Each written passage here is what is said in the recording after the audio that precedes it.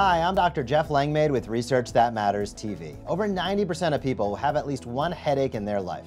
For some, occasional headaches can turn into a daily occurrence that disturbs both work and hobbies. In many cases, headaches aren't associated with a disease, but are instead a result of your daily habits and actions. The most common triggers for a headache include stress, fatigue, lack of sleep, hunger, and caffeine withdrawal. Being aware of the type of headache you have and its triggers are the first steps towards finding relief. Stress is the primary cause of all types of headaches. It's important to remember that stress can be mental or physical. Physical stress can include muscle tension in your shoulders, head, and neck that commonly occur during long hours at the computer, unbalanced posture, or a lack of regular exercise. The three most common types of headaches include tension, sinus, and migraine headaches.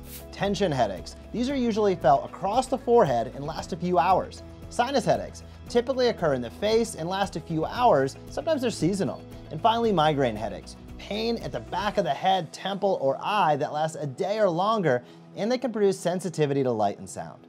Now that you've identified the types of headaches that you're usually affected by, you can begin taking proactive steps to reduce your risk. Getting enough rest and watching your caffeine intake is a great place to start.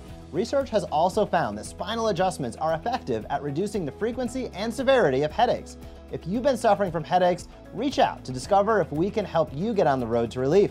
My name is Dr. Jeff Langmaid, and I'll see you next week for another episode of Research That Matters TV.